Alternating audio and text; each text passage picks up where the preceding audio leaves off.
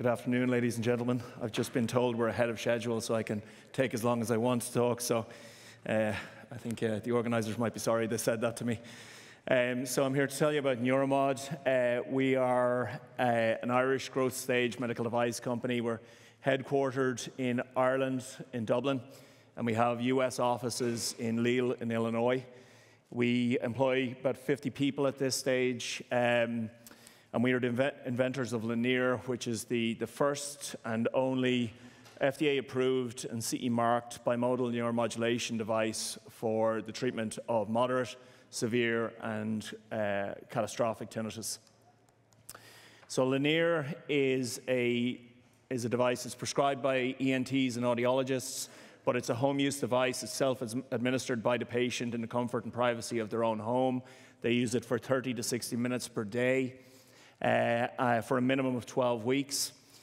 And the device essentially delivers sound through Bluetooth headphones combined with trigeminal nerve stimulation that's done non invasively using an intraoral electrode that we call the tongue tip.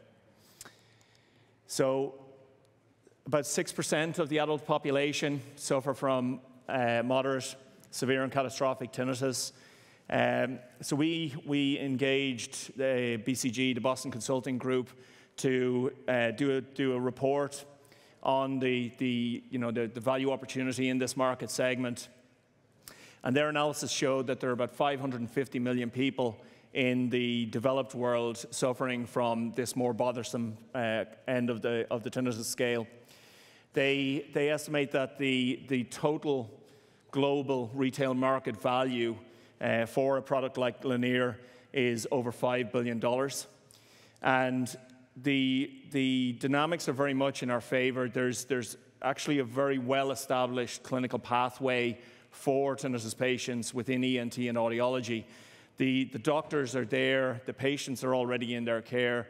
The problem uh, and the challenge to unlocking the opportunity has been that the doctors have not had an effective treatment to prescribe these patients until now.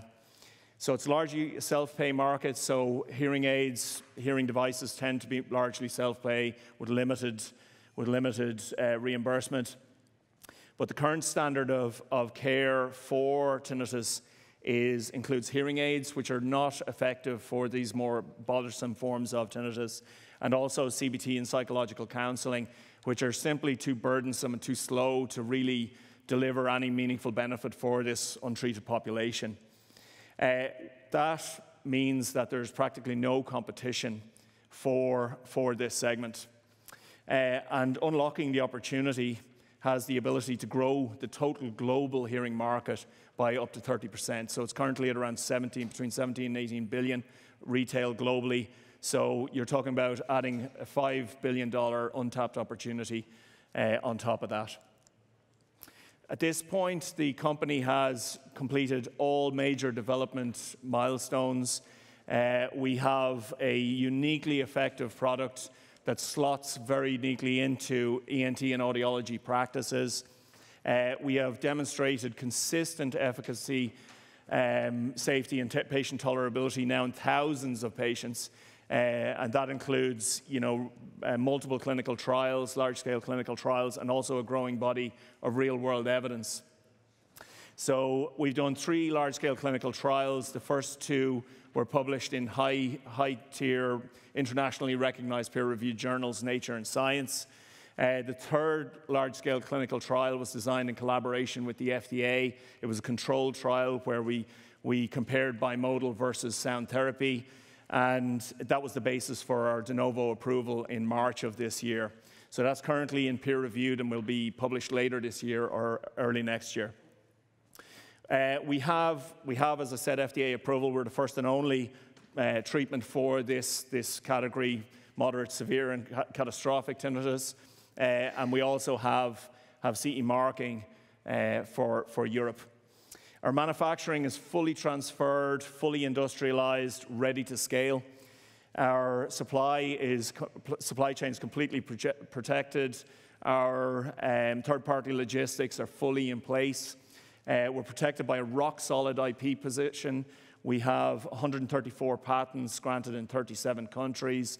They span across four patent families, which have date back to 2010. So we have the earliest and largest IP portfolio in this space. And then, most importantly, at this stage now, we have a proven uh, and scalable commercial model. So we have rapidly growing revenues. We are very tightly tracking our commercial and clinical KPIs, and they are exceeding all expectations. Uh, so Lenire is very attractive, a very attractive proposition to private practice audiologists and, and ENTs. Um, and there are multiple reasons for that. It helps them to expand their practice. So it allows them to add a revenue line that, that wasn't there before. So now they're, they, they can see tinnitus patients, they can hire more, more staff and see these patients and get a direct revenue line from them. But it also the, the, feedback we're getting from all our partners is that it also drives synergistic growth in their existing revenue lines. So the more tinnitus patients they see, the more hearing aids they see, the more balanced patients they see, because there, are such uh, co-occurring co comorbidities between those conditions. Lenire also enables clinics to clinically specialize to differentiate themselves from their competition. That is going to become more and more and more important as time goes on because there are some adverse industry headwinds that are kind of coming down the tracks like a steam train for, for private practice audiologists and ENTs. Uh, and they are the over the counter legislation in the US, the, uh, the entrance from the, the, of the big box retailers, the Costco's, the Best Buys, and also then third party payers, these insurance companies who are coming in. So Lenire helps differentiate and protect from these headwinds. In addition, it also has the added advantage that it attracts a much younger uh, profile of patient into that kind of lifelong care of expert audiologists. So the tinnitus patients tend to be in their 20s, 30s, 40s. Uh, so audiologists are getting them in the door kind of one to three hearing aid sales cycles earlier than they would normally be coming in. So, and a lot of these patients do have, have a concomitant hearing loss, so there are multiple upsale opportunities for audiologists. So this is why we are getting a very, very strong provider demand from both audiologist practices and ENT practices in the US. And the really smart movers and the recognized leaders in audiology retail are, are, recognizing these adverse headwinds. They know that this is coming down the track. They know that over the counter, big box, and third party are just going to put more and more pressure on their, on their margins and they're, they're driving their profits down. Um, so the smart movers are getting into, they're moving into clinical specialization now ahead of that. So if you want to, if you want to become more specialized in clinical audiology, you, there's three places you can go. You can go tinnitus, you can go pediatrics, or you can go balance. Pediatrics is, is relatively small. Uh, balance requires a lot of upfront of a capital investment for the practice. So tinnitus is by far the largest and easiest to get into, and that's why you know, we're, we're seeing that uh, a lot of, of audiologists are, are pushing now to, to get access to Lenire. So we're, we're now, we've we got FDA approval in March and we've just completed our phase one rollout. We did this with 14 clinics um, and we did it in a way where we could track our commercial KPIs very tightly uh, and our clinical KPIs and that we could, you know, iron out any kinks that were in our, our clinical or commercial um, processes.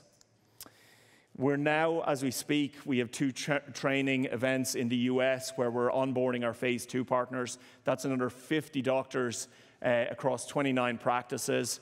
Um, and our aim was to, to follow that up. We're going to follow it up with 50, a further 50 practices in February.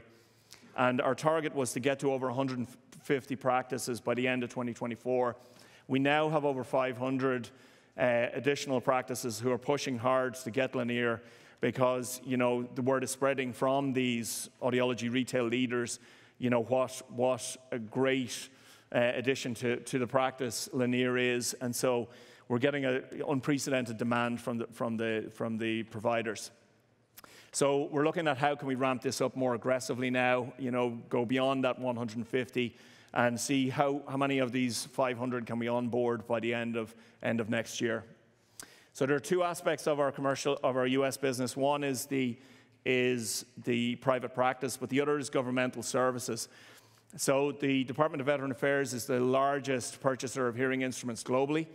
They, um, and tinnitus is their number one and fastest growing cause of service-connected disability. So if you look at their annual benefits reports, which I obsessively do every year, uh, you will see that it's, it's, it's growing much faster than any of the other conditions. So right now there are over 2.7 million veterans uh, that, have, that have tinnitus. It's costing the agency over $4.9 billion annually in compensation of payments alone, and then the treatment will be on top of that. Uh, so we, this is obviously a huge opportunity for us. We want to get in there and help these guys. Um, the, we're trying to you know, establish support for Lenire at both the executive level and at the grassroots level and we're getting very, very good traction at both. I'm glad to say that we've made our first sales into four of the major VA hospitals so far.